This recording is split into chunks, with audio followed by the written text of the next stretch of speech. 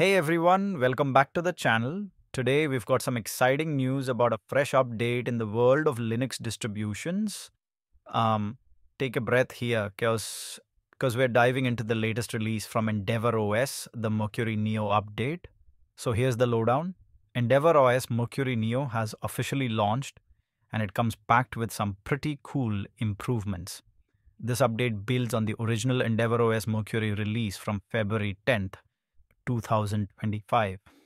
If you are new here, Mercury initially ran on Linux kernel 6.13 with KDE Plasma 6.2.5, and now with Mercury Neo, we've bumped things up a notch to Linux kernel 6.13.7 and KDE Plasma 6.2.5.0, 6.3.3 in the live session.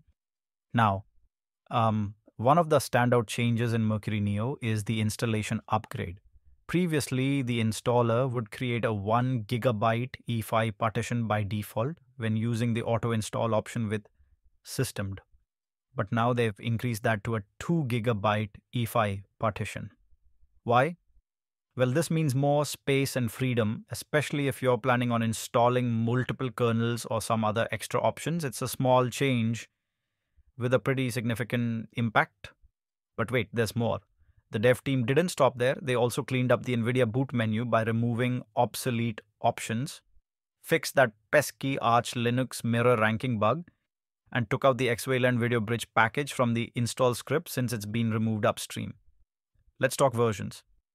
Mercury Neo updates the NVIDIA graphics driver to version 570.124.04, the Mesa graphics stack to version 2.5.0.1, and the Calamares graphical installer is now at version 380 25th of February 2002 and for all you Firefox fans the Mozilla Firefox web browser has been bumped to version 1 36.0.2 while the Xorg server display server is now at version 21.1.16 that's a lot of updates in one go so if you're an Endeavour OS user, you can update your installation easily by running the command.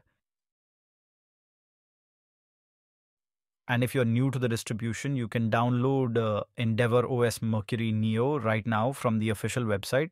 Remember, Endeavour OS follows a rolling release model, which means you install once and keep getting updates forever.